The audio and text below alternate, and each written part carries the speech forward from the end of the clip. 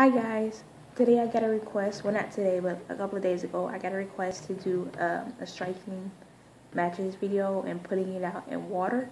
So that's what I'm going to attempt to do today, and I hope I do a good job. um, as you can see, like, I found this box in my basement, so like, the sides of it might be a little worn out. So I might need to um, strike it a couple of times.